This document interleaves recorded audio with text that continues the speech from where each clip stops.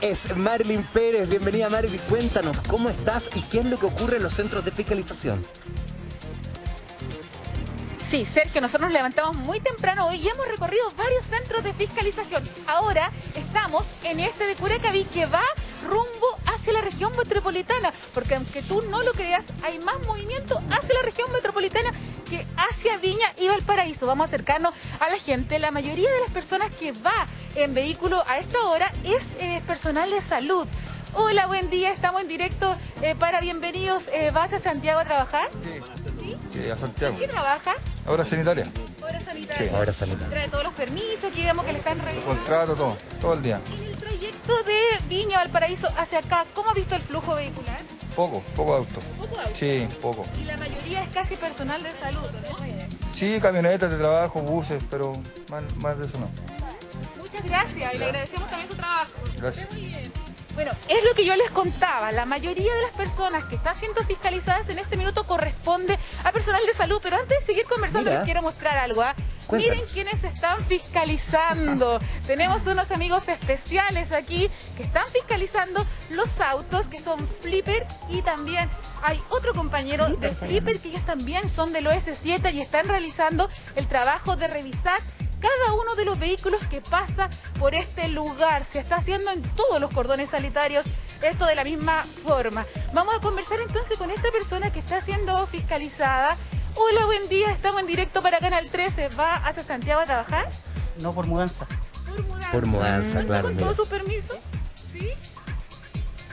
¿Qué permisos eh, le pedían ahora a Carabineros para mudanza? Salvoconducto, el permiso de la comisaría virtual y el C19. Ah, perfecto. Iba con todo en regla, así que lo dejan pasar. Entonces, pero no sé, Sergio, si te ¡Qué llama lindo! a ti la atención que está llegando mucho vehículo. Mira, él es Flipper. Hermoso. Es Flipper. Y saben que tiene una particularidad. ¿Saben qué pasa con Flipper? Él desfiló. Desfiló en la parada militar. ¿Se acuerdan cuando vieron esos bebés perritos? Bueno, Sí. él era uno de ellos. Oye, les quiero contar eh, algunas de las cifras de cuántos Ya. vehículos han salido en las últimas 24 horas y para ello tenemos a la general González que nos va a contar general cuántos vehículos han devuelto, cuántos son los porfiados de siempre. Hola, buenos días Marilyn y a todos los que están allá en el estudio. Muchas gracias. Eh, bueno, eh, eh, contando desde, desde las 00 horas del el día primero hasta las 00 horas de anoche, eh, salieron 43.300 vehículos, lo que corresponde a un poquito más de un 4% de lo que tuvimos de salida eh, la Semana Santa del año 2020. Ya. Eh, esperábamos que, que fuera algo así. Eh, hemos percibido que la gente parece que le ha perdido un poco el temor a lo que estamos viviendo. Y bueno, pero los porfiados me preguntabas tú. Bueno, los porfiados eh, fueron más de 1.700 a nivel nacional. Eh, personas que lo pasaron mal eh, con los cordones sanitarios. Tenemos varios kilómetros durante el día de ayer, hasta muy tarde tuvimos varios kilómetros con vehículos eh, esperando.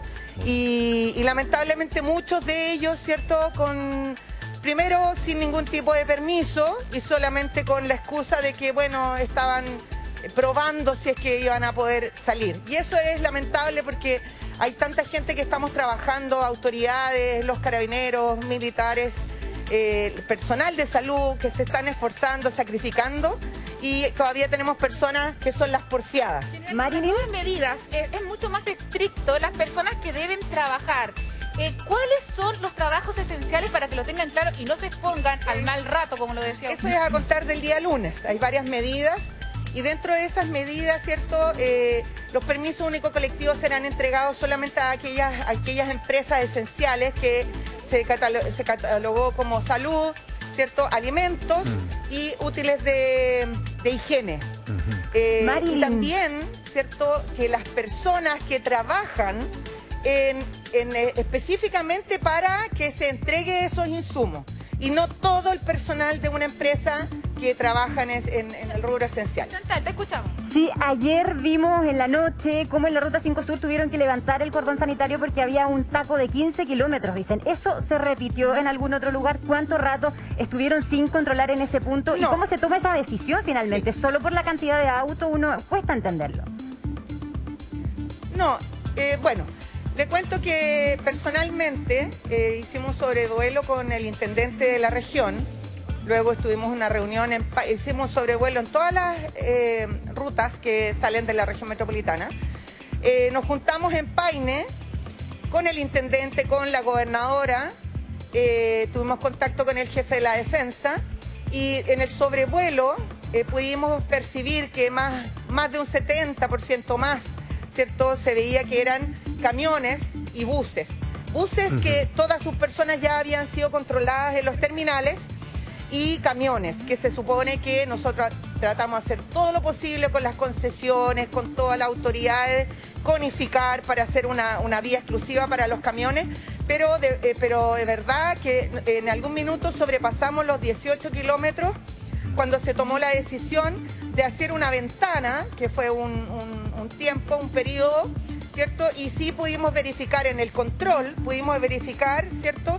Que efectivamente más de un 70% de los vehículos que están, obviamente que habían vehículos particulares, Claro. ¿ya? No, no estoy negando eso, pero sí eh, pudimos, con el control en el lugar, pudimos detectar que efectivamente más de un 70% de esos vehículos eran camiones. Así que la decisión fue esa.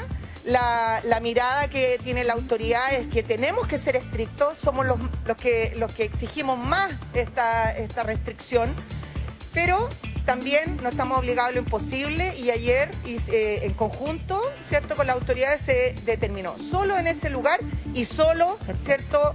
Que no duró más de una hora para descongestionar. Pero eso se supone que no debería repetirse, esos son los imponderables que suceden cuando se toman decisiones y como insisto, eh, la- lo estricto de los, los cordones sanitarios, tanto en la región metropolitana, Gran, Gran Valparaíso, Gran Claro. Concepción, Te- eh, Temuco y Padre Las Casas, va a seguir, ¿cierto?, el control muy estricto respecto de estos controles que estamos realizando en conjunto. Queremos agradecerles eh, gentilmente esa conversación porque es un tema relevante para estos días. Hay que pensar que esos cordones también van a estar funcionando para el retorno de esos Exactamente. 43 mil vehículos que salieron de la región metropolitana este domingo en especial cuando muchos intenten regresar a la capital. Queremos agradecerle a la generala, queremos agradecerles también a Marilyn Pérez. Vamos a volver con ella en cualquier minuto, Sí. Chantal, y tenemos muchas más Tenemos muchas informaciones cosas para